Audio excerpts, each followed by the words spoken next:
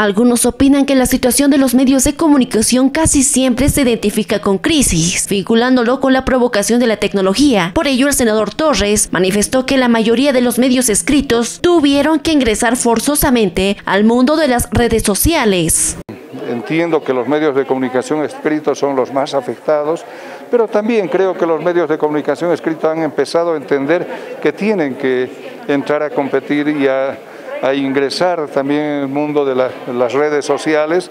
Hay muchos periódicos, entre ellos un periódico que desde mi departamento, El Deber, ya ha entrado en ese mundo y está compitiendo muy bien. No queda otra, hay que entrar en ese mundo.